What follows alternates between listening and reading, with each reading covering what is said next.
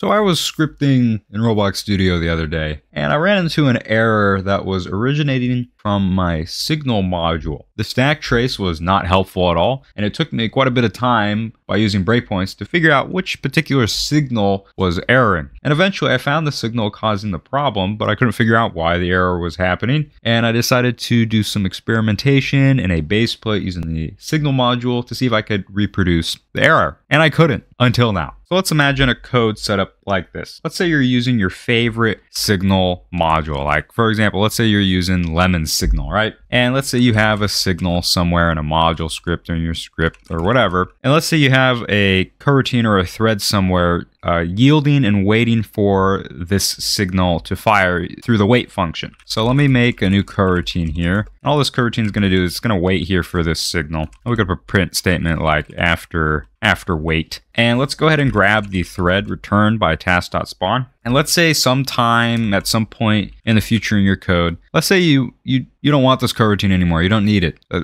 we're gonna throw it away, right? So we're gonna task.cancel this thread because we don't need it at some point in the future of our code. But let's say our signal hasn't fired yet. Let's say our signal fires after this thread is canceled. What's going to happen? Well, if we run the game, nothing happens. Everything works fine. This didn't print because the thread was canceled, and the signal didn't bother doing anything because it can't can't do anything with this. Uh, this is a dead coroutine, so no issues. And this is why I couldn't reproduce the error for a while. I couldn't figure it out. And this, if you're curious, was the error. Cannot spawn non-suspended coroutine with arguments. Because the error had no stack trace, the only stack trace was originating from the signal module. I don't know where it was coming from. I don't know why it was happening. But then, out of the blue, I just decided, okay, what if I just pass something to this uh, fire function, right? Because, I mean, it says uh, cannot spawn non-suspended coroutine with arguments. Maybe I need to give it some arguments. So if I pass something like 1 to my fire function and run it again, ah, there it is. There's our beautiful cannot spawn non-suspended coroutine with arguments error.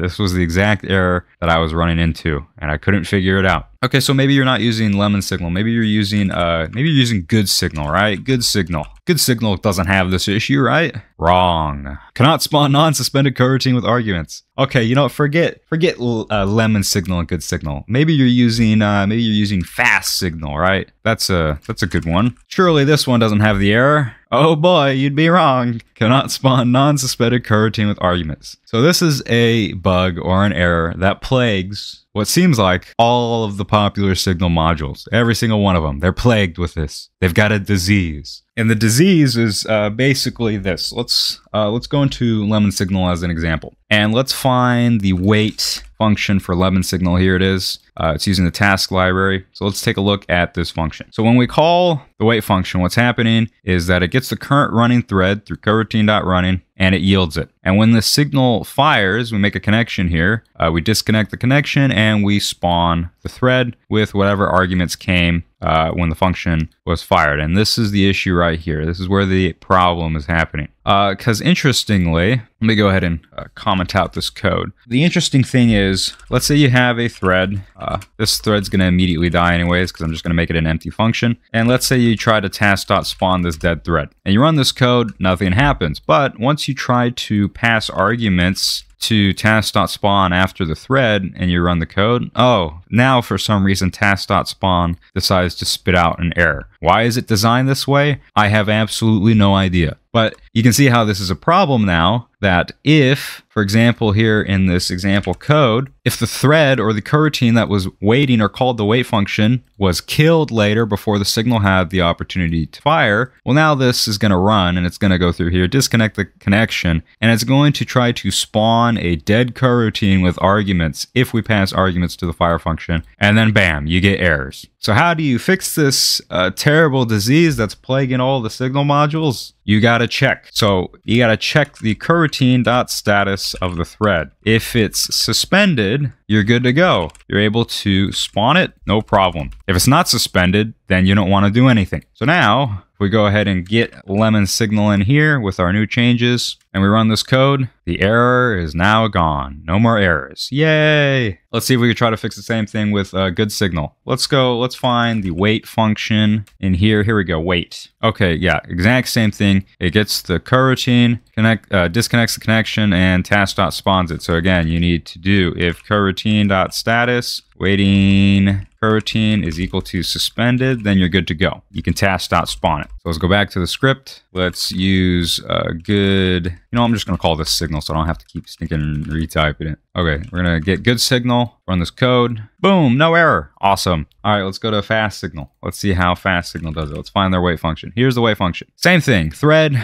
coroutine.running, return coroutine.yield, disconnects the connection, task.spawn the thread, but we need to check if coroutine.status of thread is equal to suspended, then then we can task.spawn it. So it seems like all of the signal modules basically have the exact same design for the wait function. It's just all of them do not bother to check if you can actually task.spawn the thread because otherwise you're going to run into an error, which is uh, a no-no. We don't want that to happen. So let's now use fast signal and run it. There we go. Error fixed. So with this beautiful medication I call the if statement, all of our beautiful signal modules are uh, now good, healthy, and ready to go.